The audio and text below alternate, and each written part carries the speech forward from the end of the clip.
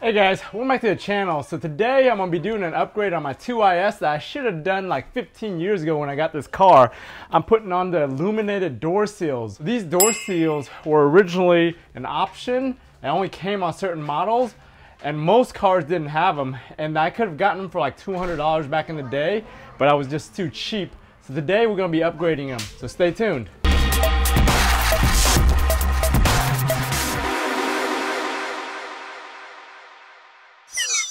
So the illuminated scuff pads were originally part of like the luxury package and the sport package. In 2006 to 2008, I think they came in the blue versions. Uh, starting in 2008 and up, they offered a white version of this. So I randomly picked these up on eBay. I paid almost $200 for these, but I got the rear ones. The rear ones don't have any kind of markings or lighting. They just have that metal right there, which is a little bit different than the original ones. The original ones are just straight plastic. And these are already like 80 or $90, just brand new from the factory. The front ones, the ones that actually light up, they're about 120 to $130 from the dealer right now, brand new. So I got this whole set for less than $200. So what you have here is you have this connector and most versions of the car already have this connector. I believe the 06s, only the luxury and the sport package came with it. The other ones didn't from 07 to 09, I believe all versions got the wiring harness. And then starting in 2010, all the way up to the end of the 2IS, they quit putting the plug and the factory wiring in the car. So you actually have to rig it to the existing wiring in the car right now. And I'll show you once I'm in the car where you can tap that wire if your car doesn't have this. So if we look at the back of these, they have a bunch of different part numbers. Some of them are actually scratched out in the molding for various versions of this. So the actual plastic hasn't really changed between all the models, but the LED has changed. So some of the LED part numbers have been scratched out. And I took a gamble on this. Uh, the junkyard that I bought it from didn't know what color it was. And it came off a newer IS. I think it was a 10 or 11 luxury package. And I just assumed they came with white at the time. So luckily these were white because I plugged them up earlier just to check.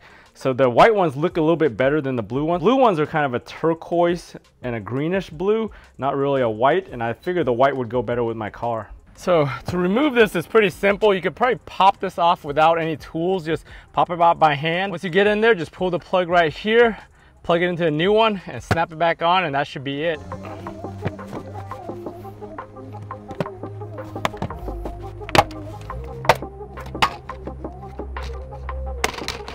Once you get in here, just look around this area back here and you'll see the plug. It's actually right here in front of my face, the white plug right there. So in the past, I've tapped other stuff to use this light. So you can see the wires coming out of here and then this green wire going up that way. If you don't have this plug in here, you're gonna have to pull your own power. And the best place to find it is right here, the LED that goes underneath here for the door light right under here so you could tap it under there. So to install it, all you have to do is just plug this thing in, snap it back on, and that's it. Pretty easy, less than a minute install for these.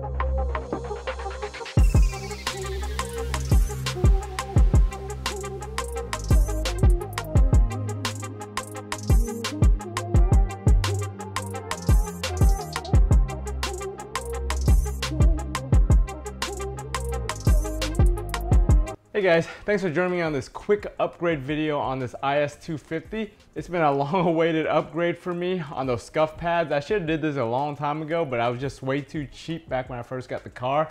And I thought it was kind of a frivolous upgrade, but now that I've upgraded all I could on this car, I decided to get these things.